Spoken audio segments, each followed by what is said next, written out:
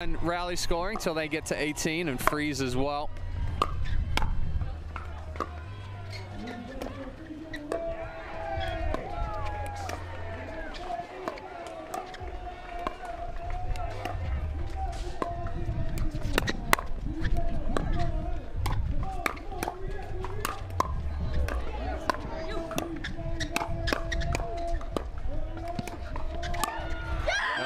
Too good from the Kawamotos.